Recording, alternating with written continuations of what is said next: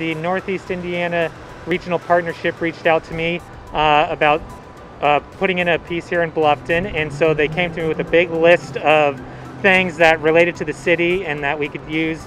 And uh, in my work, I use a lot of flora and fauna and nature like that.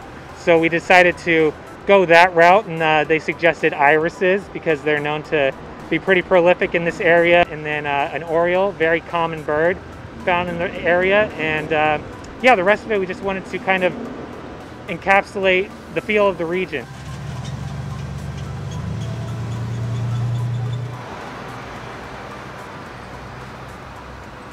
Cedric has been helping me out, part of the um, Make It Your Own Mural Fest mentor mentee um, partnership that they're trying to create to help usher in uh, the, the local area's artists uh, into kind of experiencing what it's like to do a large scale mural if they've never done one and uh, hopefully carry that on to uh, their community and start their own career.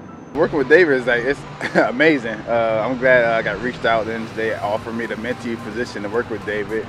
Like I don't know, I just learned so much working with David that um, I feel like the sky's the limit now, thanks to David.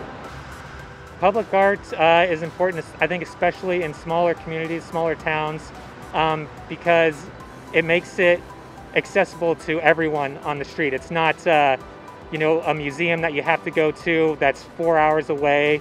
It's not uh, in some private family's dining room over their table or anything for only them to enjoy. This is for everyone.